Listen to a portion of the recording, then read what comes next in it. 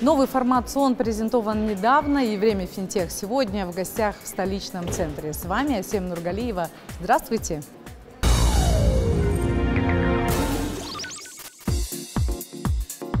На сегодняшний день Казахстан по уровню цифровизации и диджитализации занимает 28 место среди 193 стран, входящих в мониторинг ООН. Среди стран СНГ занимает лидирующее место. Более 90% госуслуг в нашей стране предоставляются в электронном формате. Таким образом, Казахстан входит в тридцатку самых оцифрованных государств мира. Одним из важных решений в развитии цифровизации в нашей стране стало создание цифровых офисов населения. Прошлом году было открыто 14 новых цифровых офисов населения. За прошедший год среди населения самыми популярными топ-5 услугами являлись получение ЭЦП, паспорта и удостоверения личности, выдача водительского удостоверения, регистрация по месту жительства, регистрация транспорта. Одним из важных решений в развитии цифровизации в нашей стране стало создание цифровых офисов населения. Основная уникальность цифровых ЦОНов – это зона погружения, видеокабинки, зона контакта. Например, в зоне погружения посетители могут без помощи оператора самостоятельно получить любой необходимый им документ. Таким образом, сотрудники обучают клиентов цифровой грамотности. В зоне погружения услугополучатели без помощи оператора самостоятельно могут получить услуги посредством приложения EGOV Mobile.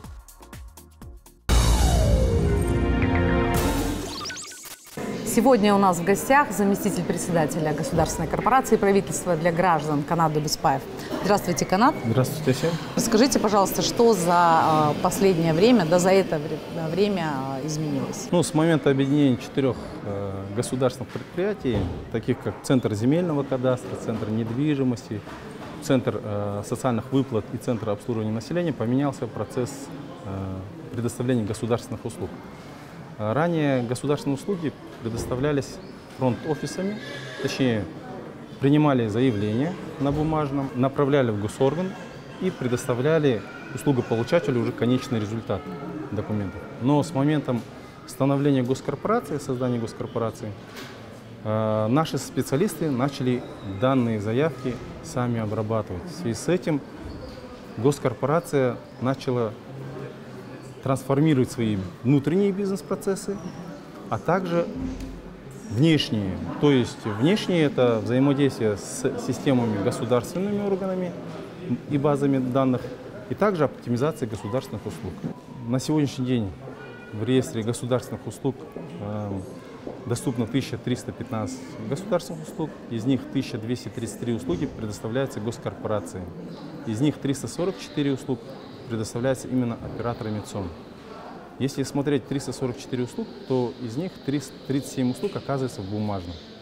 Осталь... Оставшиеся 307 услуг предоставляются альтернативно через портал электронного правительства, либо через эм, проактивные услуги. Да, на сегодняшний день действительно люди приходят в сон, ну, э, для получения таких услуг, как в бумажном виде, точнее, тут явка нужна обязательно услуга получателя, предоставление э, оригиналов документов, а также живая подпись, что данную услугу он получал. А, да, а, есть много электронных услуг, которые выведены на, на посредством электронного правительства. А, тут следует отметить, что люди приходят в сон, чтобы где-то проконсультироваться, где-то хотят, чтобы оператор как бы ввел правильные данные, точнее, может у него проблемы там, с доступом к интернету, может нету видеокамеры. Для этого как бы в зоне, в цифровых зонах мы э, определяем зонирование, чтобы люди могли э, как бы в коннекшн, на зону погружения прийти и получить данные услуги. То есть, в принципе, есть еще какая-то опция с обучением, да, я так понимаю? Да, здесь, людям, как если возникают вопросы, то наши специалисты обучают, консультируют, тем самым э, идет как бы оцифровка, да, там людей переводим, об, об, об, обучаем людей, чтобы они могли сами же получать эти услуги. Последний год а, очень часто в госкорпорации говорят об инфраструктурном развитии. Это касается и ЦОН, и касается и спеццонов. Расскажите, пожалуйста, какие вы а, проекты уже, ну, реальные да, проекты вы уже внедрили и реализовали? На сегодняшний день э, по уровню цифровизации Казахстан э, занимает 28 место из 193 стран по рейтингу ООН. Э, следует отметить, что Казахстан в странах СНГ лидирующее место занимает. Также более 90% государственных услуг переведены в электронный формат. И Казахстан, в связи с этим Казахстан входит в тридцатку, наверное, самых оцифрованных государств мира. На сегодняшний день госкорпорация обладает 326 фронт-офисами, цонами. Э, в прошлом году 14 э, цифровых цонов были реализованы, запущены. Э, это как электронная цифровая подпись, паспорт и получение паспорта и удостоверения личности, выдача водительских удостоверений, регистрация по месту жительства и, конечно, регистрация транспорта.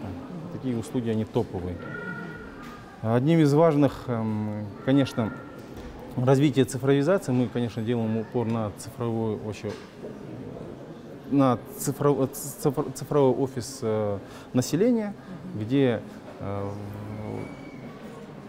где э, есть полное зонирование для удобства услугополучателей.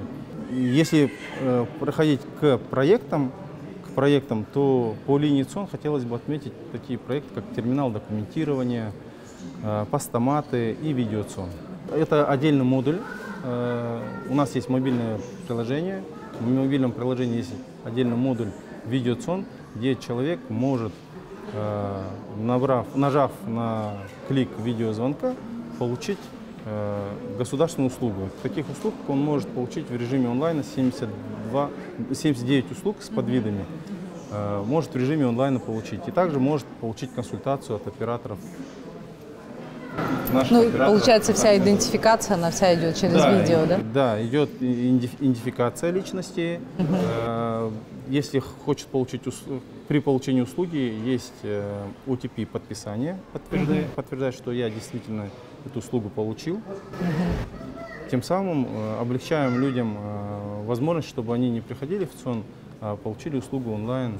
А, допустим, если говорить про терминалы документирования, угу. это прям полноценная выдача документов или это прием заявки на э, выпуск, перевыпуск документов? Ну, терминал документирования э, – это пилотный проект, он запущен э, недавно, в марте 2000, угу. текущего года. В марте текущего года. Угу. Сегодня услугополучатели могут прийти в ЦОМ, подать заявку на изготовление удостоверения личности. Точнее, это не на выпуск, а на подать заявку именно на изготовление. Процесс он э, э, обычный, точнее, человек подходит к терминалу документирования, э, вводит свой ИН, вводит номер телефона, который записан, заведен в базе мобильных граждан. То есть вообще человеческое участие здесь не требуется? Человеческое участие да? не требуется, да. Здесь удобство, наверное, э, людям, кто хочет получить, то, наверное, без очереди могут получить быструю услугу. Да. Постаматы у нас, э, данный, данный проект мы э, рассматривали с возможностью, чтобы люди могли в режиме 24 на 7 получить свои готовые документы. Данную услугу можно получить После подачи э, как бы, заявления на получение услуги приходит смс-уведомление. О том, что да, заберите что, свои документы. Да, заберите свои документы. Ссылка для того, чтобы можно было сканировать QR на э, постамате, на, на экране постамата. Тем самым э, открывается нужная ячейка, и человек может забрать документы в режиме 24 на 7. Расскажите о цифровых продуктах, которые вы еще готовите а, к внедрению, чем вы еще порадуете население. Это такие проекты, как то, что мы сейчас проговорили, терминал документирования, постаматы и видео ЦОН. Имеется, конечно, Новые проекты – это проект э, касательно модели франчайзинга, э, перевод услуг э, в электронный формат, в безбумажный. Э, ЦОН без бумаг проект, ЦОН без бумаг. И автоматизация внутренних своих же бизнес-процессов внутри госкорпорации. А вот если про ЦОН без бумаг говорите, вы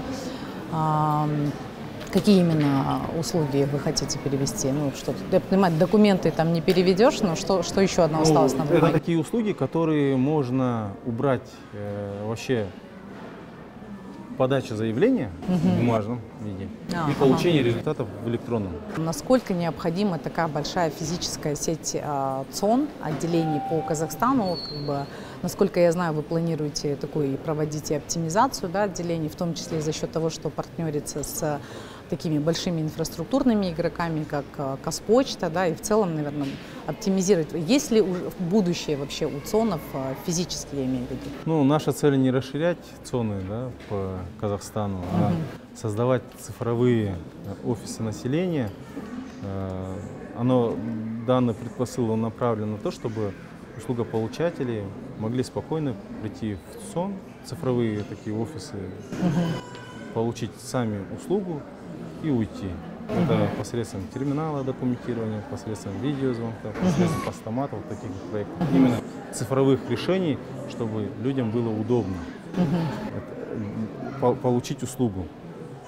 Ну, оптимизировать в любом случае вы будете, да, отделение свои? Но альтернативный, альтернатива для получения стандартных услуг, она, я считаю, это должна быть. Ну, потому что люди с ЦОН приходят не просто получить услугу, они приходят да, поговорить.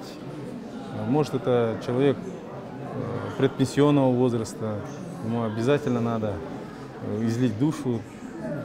Это обяз обязательно. Говоря о больших таких э, инфраструктурных игроков, как Казпочта, следует отметить, что на сегодняшний момент мы технически уже э, проводим с ними пилотные проекты в трех регионах. Э, где сотрудники Госпочты сами оказывают э, госуслуги, где, конечно же, соблюдается мера информационной безопасности и, данные. и конфиденциальность личных данных клиентов. Канат, э, большое спасибо за то, что вы поделились с нами Не такой интересной информацией. Давайте, раз мы уже здесь находимся, можно будет пройти, наверное, и посмотреть, как в реальности работает сам терминал документирования и получения документов через пестоматы. Пожалуйста, пойдемте. Сейчас мы попробуем э, здесь что-то перевыпустить. Ага. Так, здесь мне нужно телефон с базы мобильных да, граждан. номер телефона, где вы уже зарегистрированы в базе мобильных граждан. Вам придет смс-код. ИИН. Вводите ИИН. Сейчас будет биометрия, да? Да. Надо будет чуть отойти, вот где зона. Да.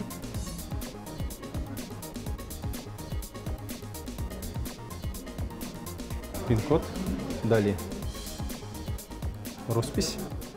Вот так вот просто, в принципе, можно забрать свой документ э, в любое время. И эта услуга сейчас уже доступна для всех, кто может пользоваться цифровыми офисами населения.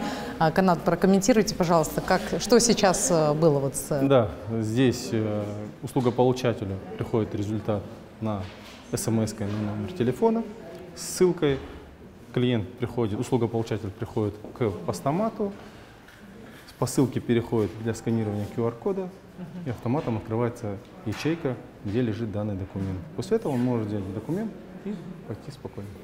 Ну, я так понимаю, что вот эта часть, она, в принципе, открыта 24 на 7, да, да насколько, да, да, насколько мы видим? Видите, здесь уже предусмотрено, мы предусмотрели в рамках новых цифровых, цифрового офиса закры, э, закрытие, чтобы можно было только получать доступ именно к постамату. То есть, в принципе, можно в любое время, даже на выходных приходить и да. забирать свои документы? Да, да, да. О дальнейших изменениях в сфере обслуживания населения покажет время. Время финтех. С вами была Сем Нургалиева. До новых встреч!